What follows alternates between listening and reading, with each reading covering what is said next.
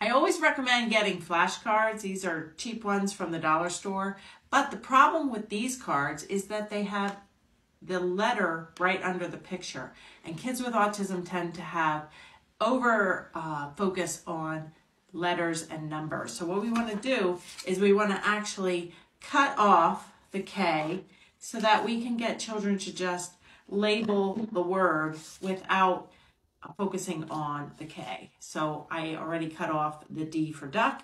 And we can save these letters for other matching activities or when the child progresses to learning words and letters.